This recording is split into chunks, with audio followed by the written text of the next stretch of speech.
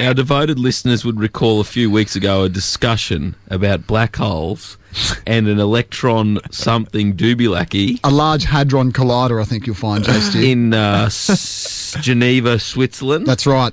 Uh, we've got another article I found here, and Griff, it's not good news, mate. It's happening. The biggest ever experiment to unlock the secrets of the Big Bang cause, could cause the end of the world, say scientists trying to get a court to stop the plan. what is going on, buddy? Seriously, L- listen to these. Listen to this here. The facility's due to go live on September 10. Uh, it's going to smash together atoms at high speeds to generate temperatures of more than a trillion degrees centigrade. All right, They just made that up. it's more than your average sauna They just go, it's really hot. It's and a it may it may create a mini black hole that could swallow the planet. We discussed this. I know, Really? but it's getting worse, mate. Uh, Okay, okay. This this is the nail in the coffin, mate.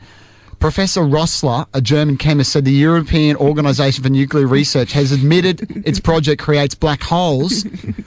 this is quotation marks here. My own calculations have shown it's quite plausible. These little black holes survive and will grow exponentially and eat the planet from the inside, he warned. I've been calling for CERN to hold a safety conference to prove my conclusions wrong, but they have not been willing. What's going on, Griff? Basically, that guy's a nutter because mm. There's like 4,000 engineers and scientists working on this day in, day out for the last like 10,000 years. Griff, the people here at 4 Triple Z aren't as confident as you, and mm-hmm. thanks to the great contributions at Radioathon recently, mm-hmm. they were able to get enough money together for Dan and I to go on a little investigative trip To Geneva. to Geneva and check out what's going on. They sent us to the LHC, mate. And just for your listening pleasure, everyone out there, this is what went down. Wow, this is a great lab. Man, Griffith'd love it He would, wouldn't he? That fat little face would light up. Oh, yeah. Do you reckon we'd be able to keep these lab coats, mate? Actually, I think you're wearing a bed sheet, Josh, which is weird. I don't even know where you found it. Oh, okay then. There seems to be a computer over there, Oh, Dan. that's cheeky. Is it on? It is indeed, but uh, unfortunately they've got password protection on this bad boy. Annoying. But try claptrap.com.au. Yep, that's the one. Here we go. Oh yeah, have you seen this? Max Doughies and the gravel and Yeah, shit. yeah, yeah. Seen that. That's that's old as.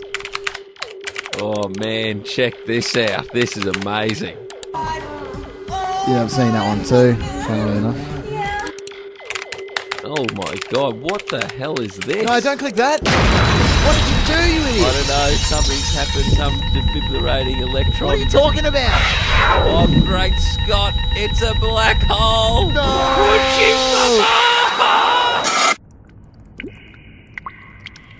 Hello? Where the bloody hell are we? Um, I think we just got sucked into a giant black hole. Maybe it's like Event Horizon, and if you get sucked into a black hole, you go to hell. Oh my god, someone's coming. Hello? Kiss chasing. What are you doing, Griff? I'm just squeaking about. And what exactly are you looking for? Deadly black bulldog ants. Can't believe it. We're back again. What do you mean, we? Who are you here with? An 18 year old man. Uh, we are definitely in hell. All because you couldn't keep your fat fingers off the keyboard, J Stu.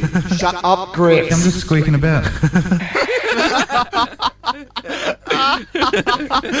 oh, that was ridiculous. So if you didn't pick it, uh, Griff didn't participate in the making of that skit this afternoon. We just used samples of his voice from previous episodes and looped them a few times. That's all we had to work with. Oh man, that was absolutely nonsense. That was ridiculous. So don't worry about it, people out there. Everyone listening to Claptrap tonight, Geneva's fine. Josh and I sorted it out. It's all good. There is no immediate worry.